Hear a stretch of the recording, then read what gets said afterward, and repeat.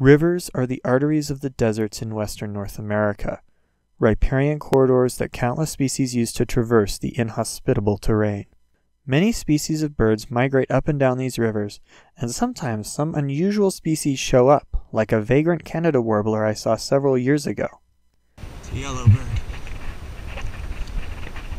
With a yellow belly, gray top. Big yellow belly, gray top, around the eye. It's white, just has a white rump. Not rump. Right white patch on the cloaca. Many birds also breed in these tamarisk thickets, and inspecting them closely can yield a multitude of species. One of the best ways to see them is to float down the river and inspect every mile of the river on a grand adventure, combining either rafting or kayaking, or in my case paddleboarding, with birding. Let's begin our birding trip.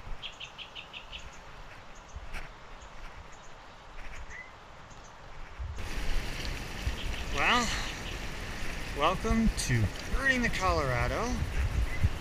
Uh, today, we're gonna go on a little expedition down the Colorado River near Moab, Utah, to get what we can bird-wise. So our stretch will be from the Oak uh, Grove Campground all the way to Moab, essentially. And we're gonna see what we can see. You can hear lots of birds, so that's good.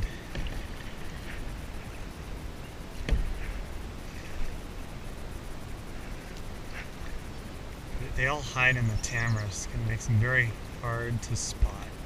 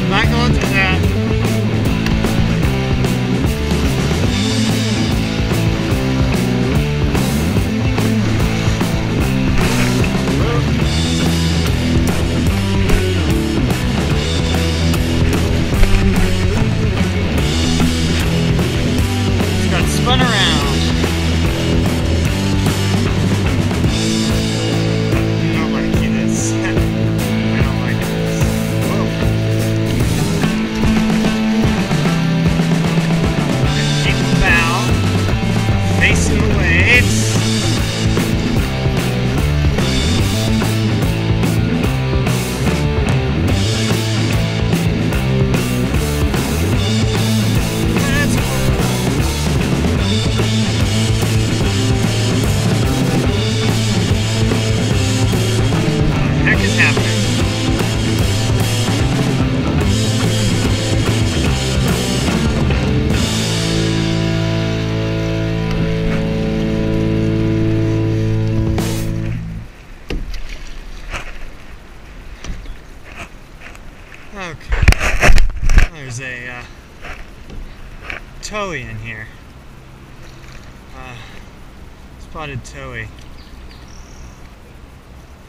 So there is just great diversity of birds inside these uh, all this tamarisk woodland. It's all invasive. Tamarisk is from the Middle East. So you can see vehicles and stuff all the way along this road or this river. They've built a road. So if extreme adventure rafting isn't your uh, or whitewater paddleboarding isn't your forte, you can drive this road and get a lot of birds. Saw a bird fly through, large and dark. Uh, could have been a catbird, but I'm not sure. Hmm. Through the whirlpool.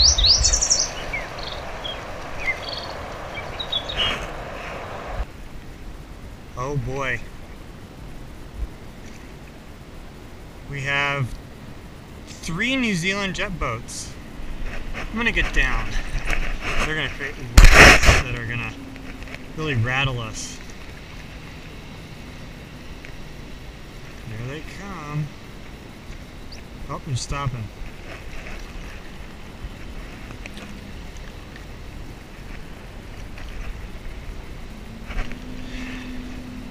But yeah, I guess these were invented in New Zealand and they have come here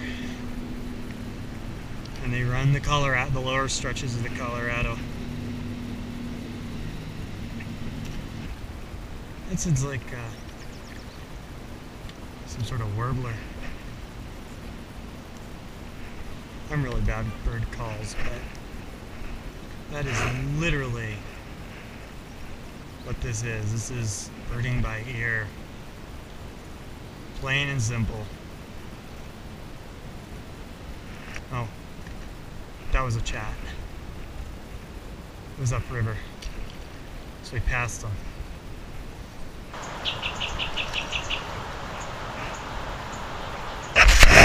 They are uh, truly cool birds. They make like full range of noises. They do that parachuting flight where they, they fly around and yell and uh, flap their wings in this exaggerated manner and the tail goes straight down. It's, uh, it's cool to see.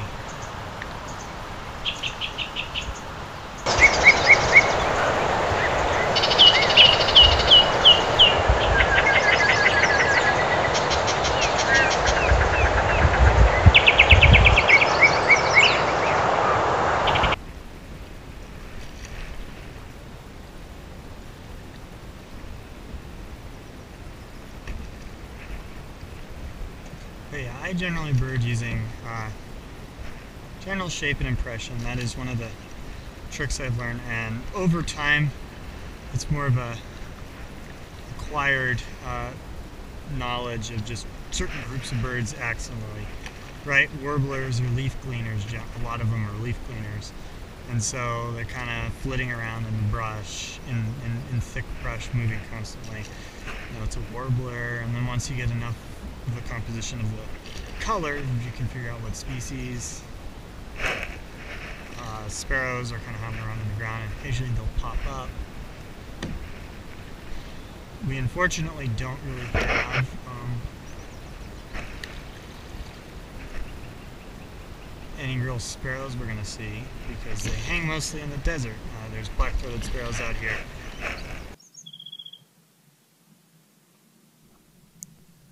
Another species found in more desert-like habitats is the blue-gray gnatcatcher, though some pairs also do live in the tamarisk. Uh, the Toyser sparrows, I think, are kind of in the, in, the sparrows, so we did hear one of those, so... But yeah, they're generally down in the brush, and then you need field marks to identify a lot of sparrows, because a lot of times, if you only get a fleeting glance, they're kind of hard to tell apart. They're a good bird to get binoculars on and know the call of. Uh, then you got some uh, other birds that are fairly easy to identify, like the orioles when they're flying over, they have all this bright orange on them if they're male. Females are kind of subtle, so they're a little difficult to tell, but they make a lot of noise. It's sort of a rattling call, and then they have their own song you occasionally hear. Uh, flycatchers are another good group. They're all generally uh, they perch and they'll fly out doing a behavior called hawking, where they'll fly out and they'll grab an insect and then they'll come back. And most species do that, uh, but you know, kind of size is an important detail. Being able to tell the difference in size between, say, something like a, like a western kingbird and an ash-throated flycatcher are good. And then, of course, you have a whole different groups of smaller flycatchers on that. You've got western wood pewees, And you have to tell those apart from empids, which which is okay enough. But uh, the western uh, the western wood pewee has a vest, but uh, empids are really hard to tell apart, and even in the hand, uh, they are difficult to do. So have fun with empids. I can't give you any real hints, except I, from what I've read, uh, grays like to shake their tails around. They like to wag their tails, and so that's generally how I tell a gray from anything else. But their calls are different, so that's the main way in the field. But if you just see them, they're kind of different to tell apart. Another bird to keep both an eye out for and listen for is the beautiful lazuli bunting. I think I hear a grosbeak, a black-headed grosbeak. It's this big orange bird, and bl- orange and black bird. It's it's like the Halloween bird. It's like one way of describing it. Um, makes a call that sounds fairly robinesque. Got a swallow. It's like a violet green.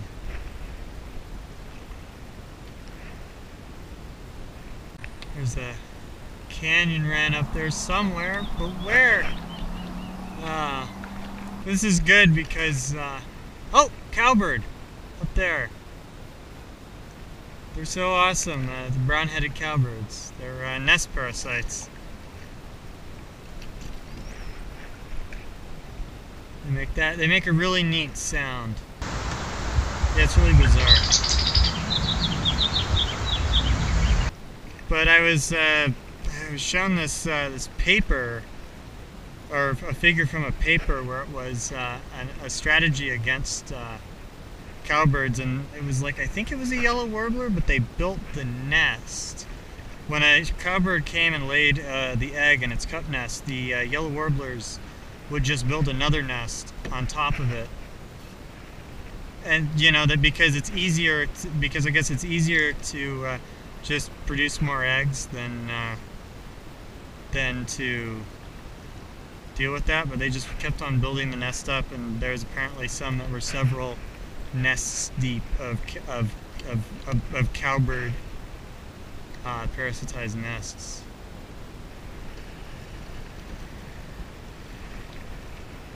Oh, we got something flying. It is a Say's Phoebe, blacktail, uh, or darktail, kind of gray brown wings, and that sort of rusty uh, underbelly. And it just hawked and grabbed something. I love Say's Phoebes. They're like one of my favorite flycatchers.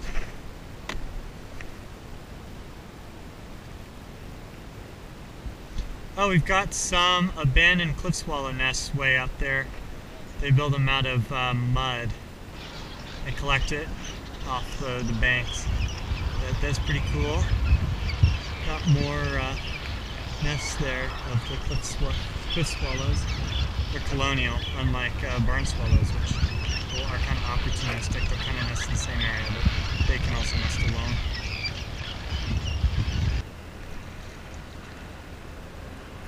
It's loud. See how close we can get. Might be an empid.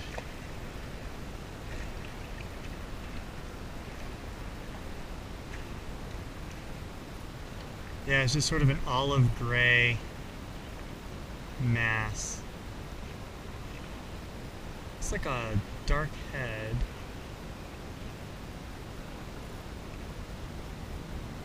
It might actually be a black phoebe. I Yeah, with the twitching tail, that's a black phoebe. Oh, raven. Just saw the shadow fly over. Those are, our really big bird. And there goes our uh, black phoebe. There is a raven nest up on the sandstone cliff, kind of that alcove. I can see the chicks. You can hear them.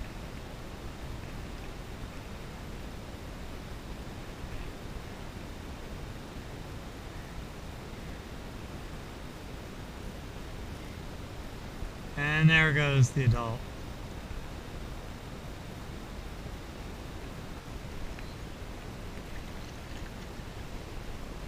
Yeah, we're just past Grandstaff Canyon. All of this is it's so high that there's no beach. There's usually beach, and that's where uh, great blue herons and Canada geese are off, uh, just sort of sitting around. I don't see any right now.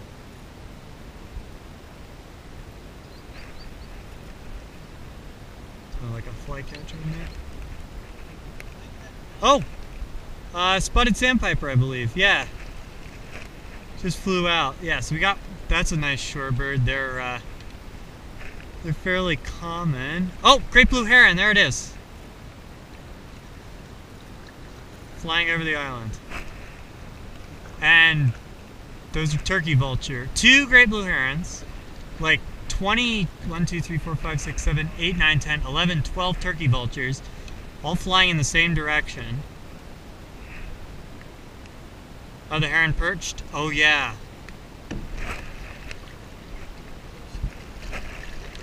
We'll uh, put down our voice as we're approaching the heron. Oh, and a chat just, well, that's a, I just heard a chat. That looks like a western kingbird.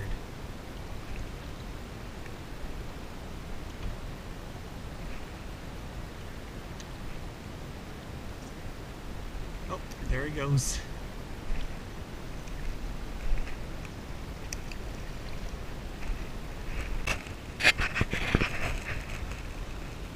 I just heard uh, some white-throated swifts somewhere up here. They have little tiny, their feet have like basically reduced down to nothing. They just kind of cling on to the sides of things. Uh, really cool. Yeah, I hear them.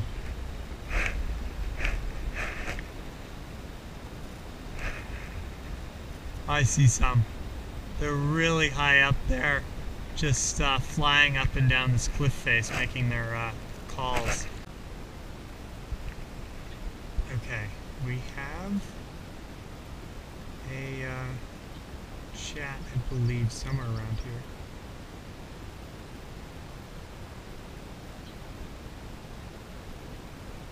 Yeah, it's a chat. It's going off. We'll come past it any second now. Is it?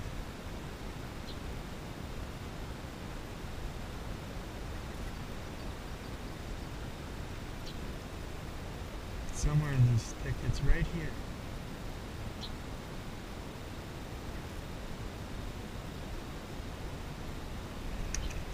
Ah, hummingbird.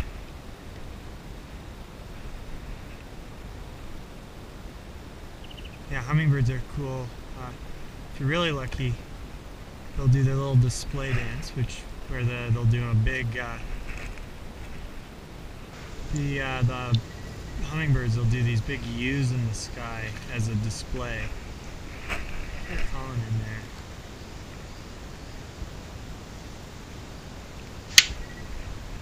Oop, dragonfly. Flying up and down. And there is Moab, right there. We're gonna go under a bridge. What's that? Blue grosbeak, blue grosbeak. They're bright blue, reddish wings. They're an awesome bird. Yes! I think that concludes it. I think uh, that is the last bird uh, we haven't seen yet that's like a super specialty to these sort of riparian corridors. But I think we did fairly good today. So, Thank you for watching this awesome adventure.